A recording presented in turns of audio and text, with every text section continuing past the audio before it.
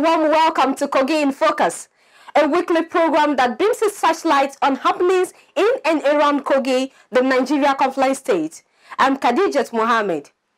In today's package, Kogi governor gets Ondo State governorship aspirants accolade after primary election. Kogi government hand over the Confluence Beach Hotel to Capital Boutique Limited for management and remodeling. Kogi Commissioner Ashiru appointed member of the federal government Ajaokuta implementation team. This and many more after this break. Welcome back. The Federal Government Committee on Solid Minerals and Natural Resources has included Kogi State Commissioner for Finance, Budget and Economic Planning, Asiwaju Ashiru Idris, as part of the Ajaokuta Presidential Project Implementation Team. This was made public by a visiting team to Kogi State led by the Minister of Mines and Steel Development, Olaleko Adegbite, and the chairman of the committee, Senator Tanko Almakura, who promised to involve the state government and the people in its drive to revive the mining sector, Ajaokuta, in the state. The team was welcomed by the State Deputy Governor Edward Onoja at Government House, Lokoja. Kogi State boasts of more than 20 different deposited solid minerals still untapped and the state government called on the federal government and well-meaning investors to join hands with it to revive the sector in line with the country's efforts to diversify the economy away from oil. The Kogi state government, under the leadership of His Excellency Alhaji Yahya Bello, has created a Kogi State Ministry of Solid Mineral and Natural Resources under the oversight of a commissioner to drive the process. We are open for business in this all-important and richly endowed area. We urge our August visitors to carry this message to the world. The federal government's Committee on Mines and Solid Minerals explained the reasons behind its latest drive to revive the sector. We are here to see for ourselves the challenges, prospects, and efforts that have been put in place to reactivate this industry. On the Ajaokuta Steel Company, Mines and Solid Minerals, the Minister of Mines and Steel Development, Olamilekan Adegbite, said plans are underway to get the complex up and running as soon as possible. And I see a very bright future for all of us. In two, two and a half years' time, when Ajaokuta will start production, if Ajaokuta were to start production today, we will employ over 10,000 people. He said a team from Russia will arrive Nigeria to get things going as soon as ban on international flights is lifted. President Muhammadu Buhari has done us very proud by starting this process in Russia sometime in October last year. And the process is well underway.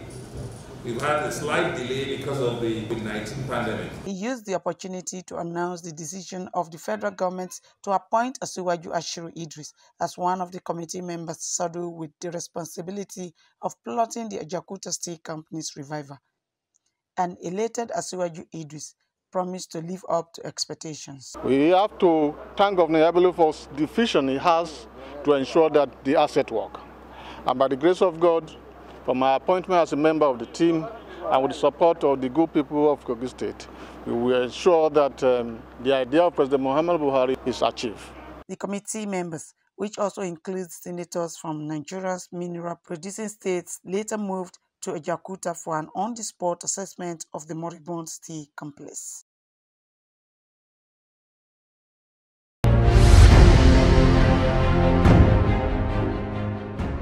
In a bid to boost the internal revenue of the state, create more employment for the youth, build the state as an attractive space for more investors who are willing to invest in the state.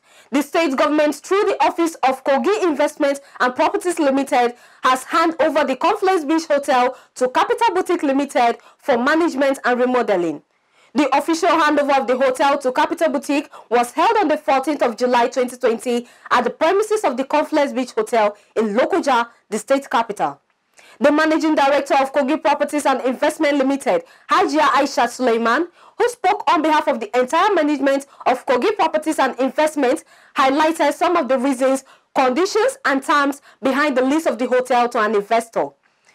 She said the hotel requires an overhaul remodeling costing billions of naira, which is very difficult for the state government to incur for now as more attentions are needed in completing so many ongoing projects across the state. The hotel will operate and manage with the same name Lokoja Confluence Beach Hotel and Golf Resort Limited.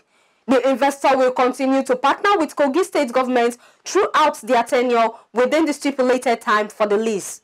The, she emphasized that with the agreement and for the avoidance of doubt, the hotel is not sold out to any company or group. The project is in line with the present administration under the leadership of Yahya Adoza Bello blueprint and commitment towards the socio-economic development of the state, which will also contribute greatly to the internal revenue of the state and it will equally create more jobs for the youth. Aisha said upon the completion and when fully operating, the hotel will not only put the state on the world map, it will also attract more investors and become center of activities to the federal government in view of its standards.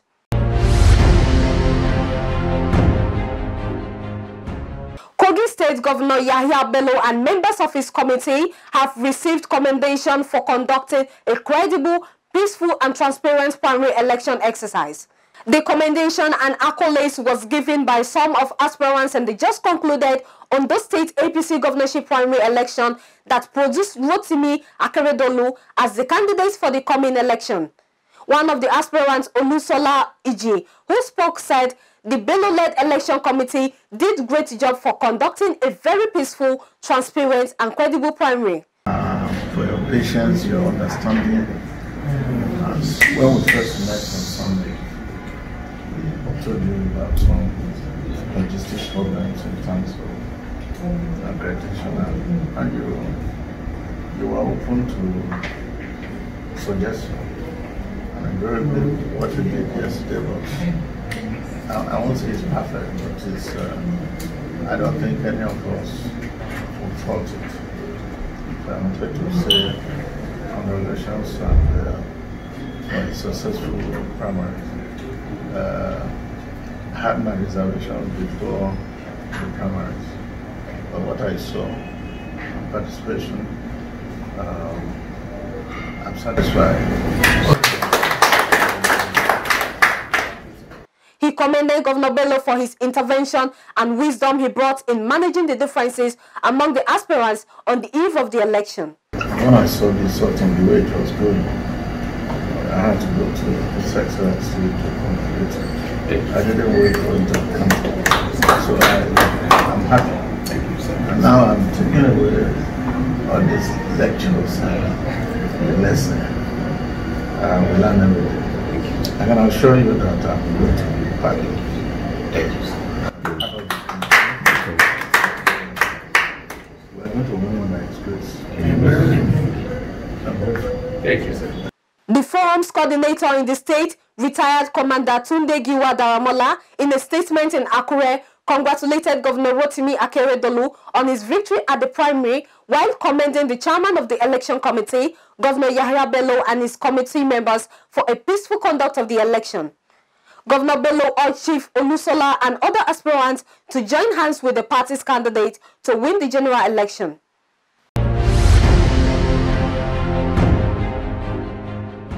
The National Association of Kogi State Students NACOS and the Student Union Government SUG Kogi State Polytechnic chapters has felicitated with the acting rector of Kogi State Polytechnic Lokoja, Dr. Salisu Usman, on his successful 100 days in office.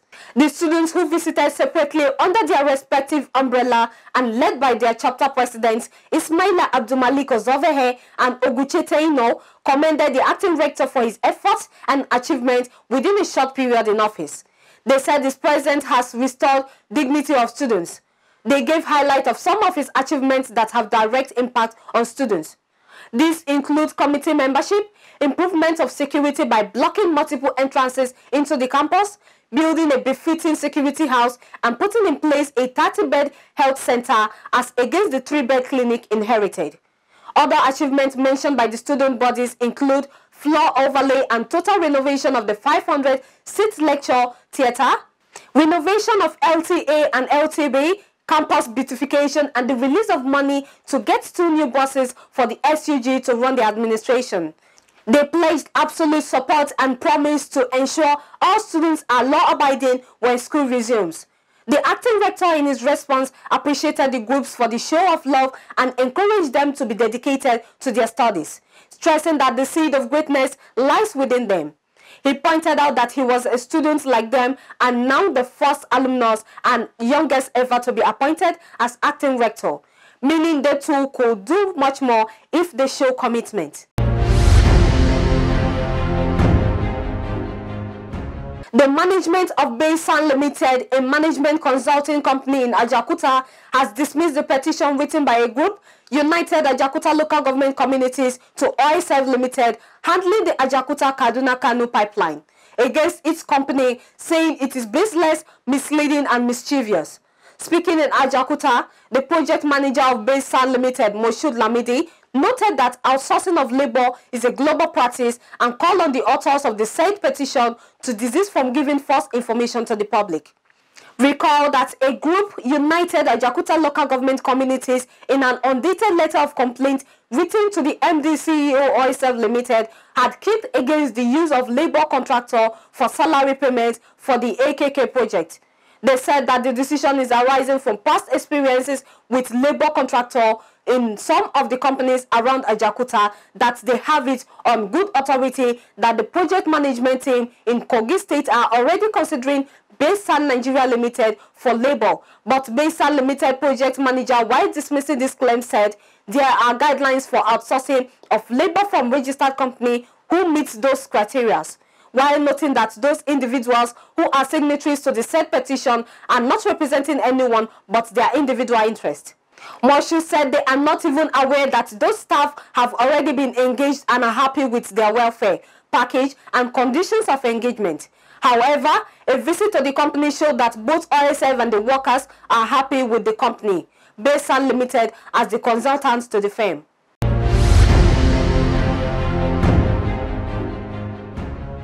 Mukadam Asiwaju Ashiru Idris, the Honorable Commissioner of Finance, Budget and Economic Planning, who doubles as the forum chairman of all commissioners in Kogi State, has sent out his heartfelt congratulations to Honorable Justice Henry Olusiyi and Honorable Justice Bayo Oluwoshagun over their appointment by the visionary and actionable governor of Kogi State, Yahya Adoza as acting chief judge and acting president of the customary court of appeal, respectively. In a message personally signed and released through his media aid, extolled the plausible pedigree and the impeccable character of the appointed jurists, describing their choice as an eloquent testimony of their commendable, meritorious year of service that have seen to the entrenchment of justice delivery and growth of the judicial system in the state. He said Okun Nation is bountifully blessed for having their illustrious sons at the driver's seat of the administration of justice in the state saying they shall deliver on their mandate. Asiwaju expressed confidence in their ability to add value to the jurisprudence and protect the sanctity and sacredness of the law temple. In his words, he asserted that with their years of incredible service and cognate experience as law officers, there is high hope the judiciary under their watch will be truly independent and also give complementary support to other arms of government to take Kogi to the next level as envisaged and planned by Governor Yahya Bello. Asiwaju commended Governor Yahya Adoza Bello for his timely action towards filling the vacuum created by unfortunate and shocking demise of Honorable Justice Nasiru Ajana, the erstwhile Chief Judge, and Honorable Justice Shaibu Atadoga, the erstwhile President of Customary Court of Appeal. He said this singular but prompt action of the governor has once again reinforced his belief in our constitutional democracy and further promotes him as a core Democrat whose respect for the rule of law, cum processes of appointment of justices is highly commendable. Governor Yahya Bello is indeed a leader committed to the full functionality of the judiciary and quest to change the state narrative positively. He wished the new justices milestones of achievement in office as they captain the ship of our judiciary. Kogi State Governor Yahya Bello has hailed Major General David Medayese Jemibewon retired on the occasion of his 80th birthday celebration. The governor added that his patriotic zeal for the nation took him into the Nigerian Army in 1960 where he served in various capacities as he distinguished himself in all and rose to the enviable rank of a Major General. Governor Bello stated that in addition to his illustrious service in the Nigerian Army, where he manned strategic positions such as General Officer commanding 1st Infantry Division and as Adjutant General, he equally served as military governor of the now defunct Western Region, where he made valuable contributions to the development of the Nigerian nation. He mentioned again that after leaving the army following a successful career, he became a fearless advocate for victims of high-handed display of power by government, stating that it was on record that the general helped to save the life of his former brother in arms, General Olusegun Obasanjo, who later became president upon Nigeria's return to democracy in 1999. The governor noted his post-army career as a legal practitioner was also marked with outstanding success and even when he became the Minister of Police Affairs under former President Olusegun Obasanjo, he helped push forward massive reforms which are still benefiting the Nigerian police today. He stated that in all his life has been one continuous odyssey of service to his fatherland, such he noted is the practical definition of patriotism. Even at this golden age, he has remained unrelenting in service as he continued to play significant roles as an elder and father to both state and national level. The governor prayed that the Almighty God will continue to strengthen the celebrant and keep him healthy so that the younger generation could keep tapping from his wealth of knowledge and experience for many more years to come.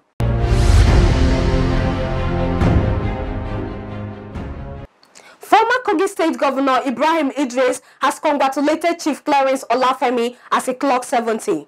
Ibrahim Idris in a message described Chief Olafemi as a dependable ally both in his public and personal life. He said his rare privilege in his life sojourn is an indication of his humble beginning and orientation as a successful man both in public service, politics and business world. Ibrahim Idris prayed for more years to the High Chief of Mopaland in his quest for more service to humanity and his fatherland. He further described Chief Clarence Olafemi as a rare gem whose desire for good governance overrides his personal interests and dictate the unique ways of his political association. Idris maintained that Olafemi's bluntness, fearlessness, and steadfastness had earned him a lot of prestige both in his immediate society, Kogi State, and Nigeria at large.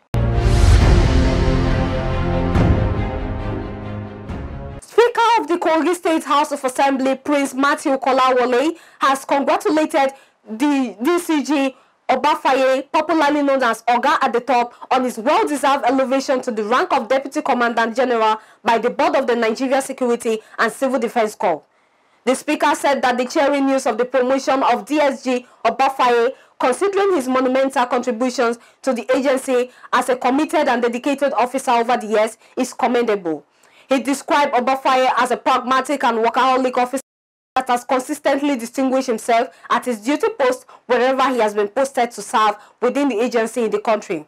He commended his professionalism in discharging his constitutional responsibility as an officer of the Nigeria Security and Civil Defense Corps, urging him to see his elevation as an opportunity to do more in the service of his fatherland. He said Obafaye is one of the shining lights that have made Kogi State proud as a gallant officer who has progressed through the ranks to his present position, praying that God shall continue to guide him, grant him wisdom, knowledge, understanding, and good health to pilot the affairs of his new responsibility. Prince Matthew Kolawole also, on behalf of the good people of Kabba/Bunu State Constituency, entire members of the 7th Assembly, management and staff of the Kogi State House of Assembly and join the family members and other well-wishers to rejoice with Obafaye on his well-deserved elevation.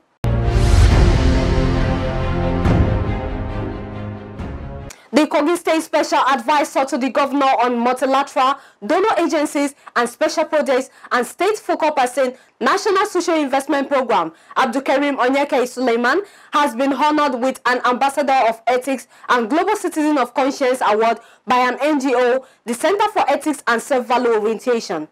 Presenting the award to Onyekehi at the SIP office in Lokoja, the executive director of the NGO, Prince Yakubu Salim Musa, eulogized the recipient for his outstanding performance since his assumption of office. Onyekehi, who doubles as the Kogi State focal person of Social Investment Program SIP, was described by Yakubu as a reflection of ethical public officer whose conduct had been secretly investigated and confirmed as a trustworthy public servant with conduct, compliance, and a sharp contrast from the general perception against Kogi NSIP in the past years. Prince Yakubu, who is the founder of National Youth Parliament of Nigeria, NYPN, further commended the reforms, innovations, and effective management the Kogi SIP office is now witnessing under the able leadership of Onyekehi. He said they secretly investigated the activities of the office through tactical deployment of their whistleblowers to monitor the conduct and activities of this agency. And they are glad to declare that Onyekehi conduct has ranked him among the top 12 highly rated, ethically responsible NSIP states in 2020. He was therefore decorated as an ambassador of ethics and global citizen of conscience, presented with a gold medal and a certificate of credence, thus inducting him among the 100 integrity icons of Nigeria. The elated special advisor Onyekehi thanks Sesvo for considering him worthy of such lofty and surprising recognition. Onyekehi assured the organization of his commitment to better service delivery to the good people of Kogi State in fulfillment of Governor Yahya Bello's New Direction mandate. The focal person, however, cited the burden of inherited challenges that thwarted the progress of the SIP implementation in Kogi State.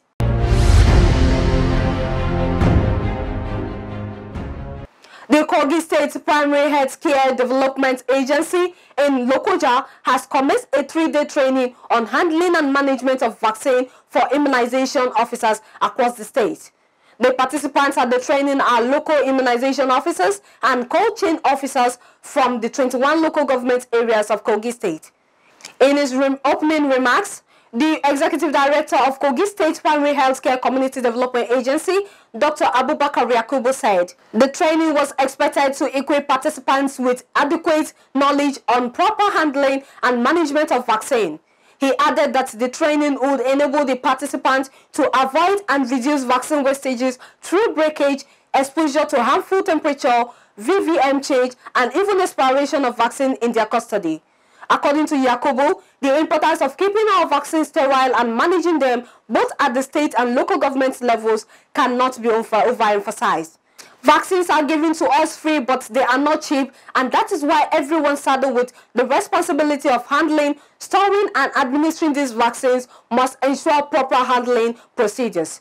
At the state level, the agency has been able to tackle the issue of poor or no power supply for proper vaccine storage by providing 25 tons cold room and 100 kVA solar energy. He said they are keeping vaccine at the recommended temperature with the provision and recent distribution of solar drive refrigerators to the local government areas.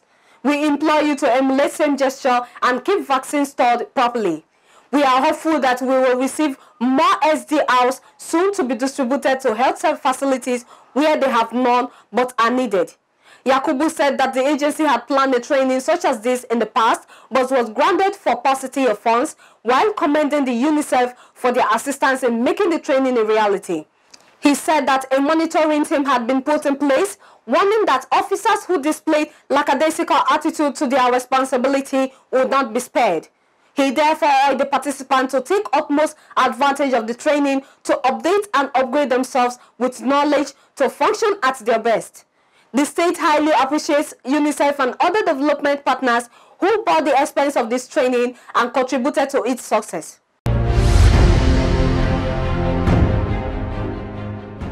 If you're just joining us, this is Kogi in Focus, a weekly program that beams a searchlight on happenings in and around Kogi State. For your information, event coverage, sponsorship or advert placement, please call or reach us via social media handles displayed on your screen. A middle-aged man, Godwin Adeoye, a 35-year-old indigene of Kogi State, has been sentenced to two years imprisonment by a magistrate court sitting in Lokoja, Kogi State on a two-count charge of attempted bombing of some national assets. The judge also gave an option of fine to the convict for being a first offender and his plea of allocutus. At the resumed hearing at the local magistrate court, presided by Ibrahim Adeoye, pleaded guilty to the offences. Following his pleading guilty to the offences and his plea of allocutus, the trial judge convicted the accused under Section 397 of the Kogi State Penal Code. Having pleaded guilty to the offense as a student, the only surviving son of his father and his promise not to repeat the same, the trial judge sentenced Godwin Adeoye to two years imprisonment with option of fine on a two-count charge of criminal intimidation and plan to bomb National Assembly and the NNPC. According to the prosecution, Yahya, who represented the DSS, the accused has threatened the Presidential Task Force team on COVID-19, demanding for palliative for himself and his group, or risk the bombing of the National Assembly and the NNPC. The DSS Council who prosecuted the matter said they are reviewing the judgment to know whether to go on appeal. Godwin Adeoye was arrested on 13th May 2020 at Ihima, Okehi local government area in Kogi State, following information from the national headquarters of the DSS of threats to bomb national assets if his demands for palliative for himself and his group were not met by the Presidential Task Force on COVID-19, had since been in DSS custody.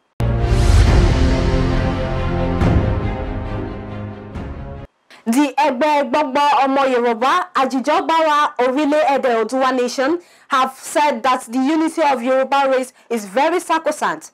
The chairman of the Yoruba group, Fabiron Azim, made this known in local Kogi State during a condolence visit to the family of late first female combat Tolulope Aritule, who died in a car accident. The chairman of the Yoruba group, Fabiron Azim made this known in local Kogi State during a condolence visit to the family of late first female combat pilot Tolulope Arotile, who died in an accident in Kaduna. According to him, there is need to stretch the hands of fellowship to the Yoruba people of Kogi State. The group, which claimed to be struggling for the independence of Yoruba race, was noted that the nation had lost a gallant officer whose death was shrouded in mystery as he described the death of Tolulope as a tragedy to the entire Yoruba race. He described her as a gallant flight cadet who had achieved a lot within her short sojourn on earth. All Yoruba groups, both at home and diaspora, identify with the family in this agony and sorrowful period. He noted, he explained that the death is a supreme end of every living soul, stressing that Tolulope's death is very painful, particularly when the nation needs her service, praying to God to grant the disease to eternal rest and give the parents and family the fortitude to bear the irreparable loss. Late Tolulope mother expressed gratitude to the visitors. National Youth Council of Nigeria, Kogi State Chapter, in collaboration with student union bodies in the state, have held a candle night in the state capital Lokuja for late combat pilot Tolulope Arotile, who died from injuries sustained from a road accident at Nigerian Air Force Base Kaduna and was buried in Abuja on Thursday. The student said the vacuum in the state created by her death will be difficult to fill and they called on the government to immortalize her. There were grim faces everywhere as representatives of student union bodies at the candle night procession along the streets of Lokoja in honor of one of Kogi State's most promising ambassadors, late combat pilot officer Tolulope Arotile. She was a leader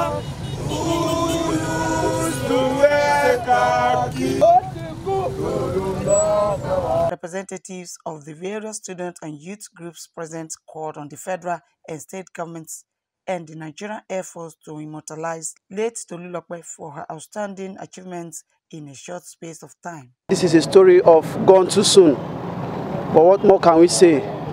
If we had the powers, if we have the powers to bring Tolulope back, we will do that. You'd all agree with me that when Tolulope was alive, she was not celebrated as she's supposed to be. Now, upon her death, we will not rest until Tolulope is immortalized. Late Ali was from Kogi State. We lost him. Now Tolulope, we want to beg the Nigerian army that at the moment, right now, we have one Major General Adeniyi Sheikh Olusegun about to be court-martialed from Kogi State. They should please, is an appeal, they should please tamper justice with mercy and allow this man be. In the course of her death, we are learning great lessons in her little transit in life. And we also use this opportunity to call on the youths to be steadfast and diligent in whatever they are doing. Let her lifestyle that she has lived be an emulation to us. They referred to her as a heroine who has created a vacuum difficult to fill. Representative of the Arotile family thanked the students for identifying with them during the try time. We don't have many of our type who, who is able to achieve so much in this short time. The family, Arotile family, they are greeting you. They are saying thank you so much for associating with us in this our trial period. We are thanking every one of you. And we are saying that by the, by the grace of God, you will achieve your dreams in Jesus' name. The remains of 24-year-old Tolulope Arotile, who was Nigeria's first female combat helicopter pilot, were interred after a ceremony with full honors at the military cemetery, Abuja.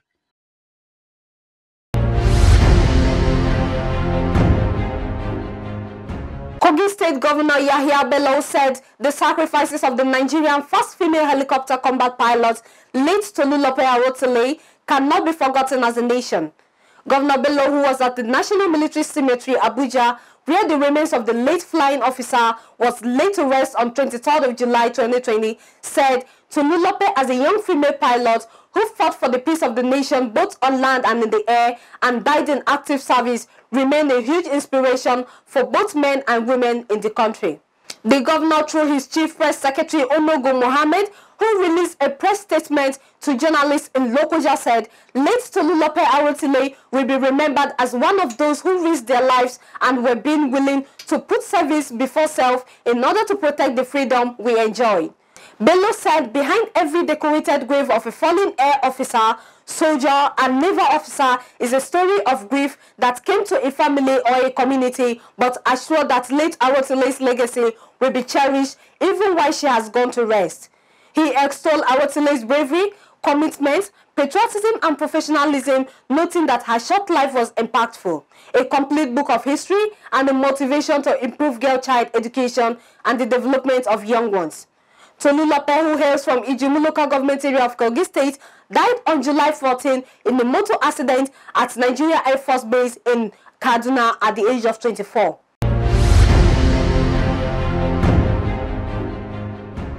The governor of Kogi State, Yahya Adoza Bello, ably represented by the deputy governor Edward David Onoja, on the 24th of July was in Ibado Apacha, Omala local government area of Kogi State, where the late Chief Justice Shuaibu Atadoga was laid to rest.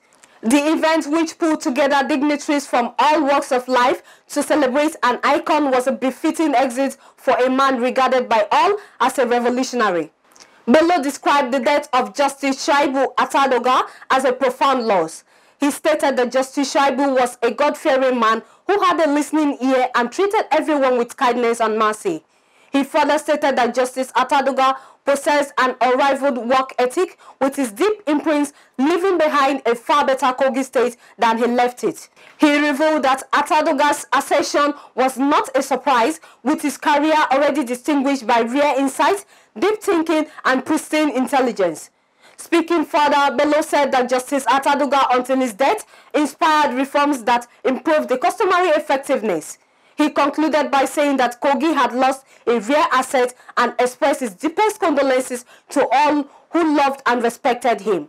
Chief Onoja consoled the family, describing the foundation of their matriarch and fellowship with the Lord as an encouragement for many, even in these trying times.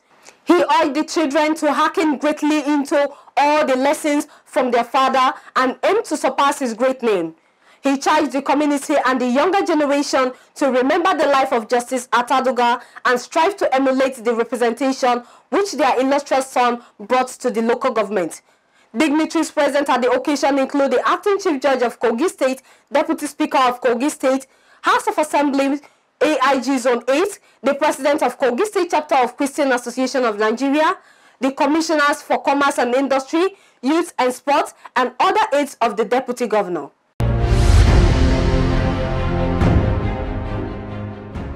A truck belonging to Dangote Cement Company was set ablaze within the week in Lokoja, the Kogi state capital, for crushing father and son to death. Eyewitness account told journalists that the empty truck was about negotiating the bend leading to Zone 8 when it lost control and crushed a pedestrian who was standing by the roadside together with his two sons. While the middle-aged man was crushed alongside one of his sons, who was badly injured, however, Locke smiled on the other persons who escaped unhurt. It was gathered that onlookers who witnessed the incident constituted themselves into a mob to attack the truck and set it ablaze. Meanwhile, the State Police Command, while confirming the incident, said that the truck lost control at the Zone 8 roundabout and crushed a pedestrian and injured one other person who is currently receiving treatment at the hospital. The police public relations officer William Aya, who spoke to newsmen, said that the incident made the people on the area to take law into their hands and set the truck ablaze. He, however, confirmed the death of one person while the identity of the other one injured could not be immediately ascertained. He said that he is receiving medical attention in the hospital with a full-scale investigation into the matter has commenced.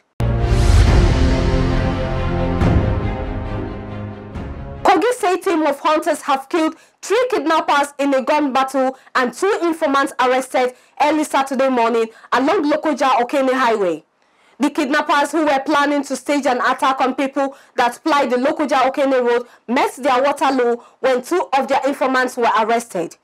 The senior special advisor security in charge of Okehi local government area, Abdurrahim Ohiare, and his Adavi counterpart Joseph Omuya Salami, who led the hunters to the hideouts of the kidnappers, following intelligence reports gathered.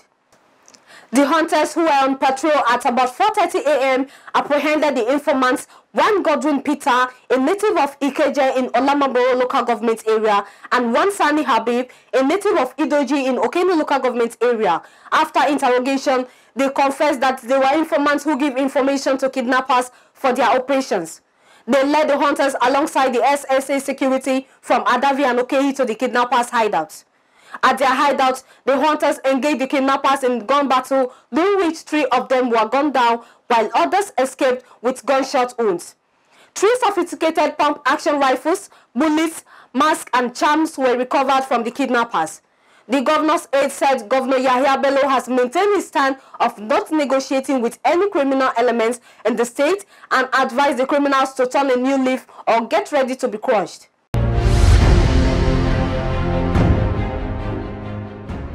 This is where we draw the curtain on today's edition.